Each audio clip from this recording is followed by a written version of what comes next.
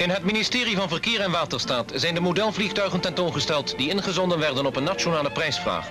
De deelnemers moesten een natuurgetrouw model maken van het bekende lesvliegtuig de Tiger Moth.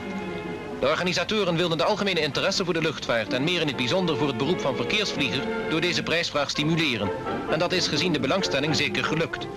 Op het Binnenhof gaat de directeur-generaal van de Rijksluchtvaartdienst, de heer Bakker, het start zijn voor de wedstrijden van de modellen. En toen raasden de toestelletjes over het anders zo plechtige stille plein tussen de Eerste en de Tweede Kamer en maakten de eigenaars hun typische rondedans.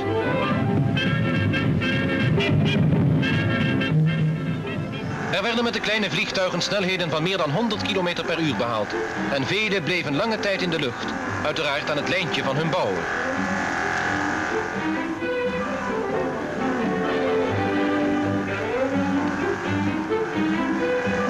De achtergrond van de historische ridderzaal suisden de toestelletjes door het luchtruim.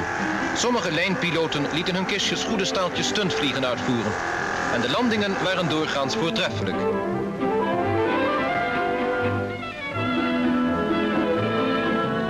Tot besluit was er een demonstratie teamvliegen.